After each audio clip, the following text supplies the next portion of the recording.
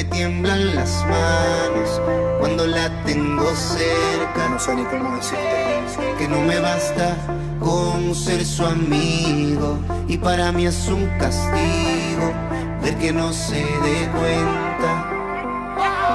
Se supone que esto no pasará, pero llegan las ganas y dime quién las frena.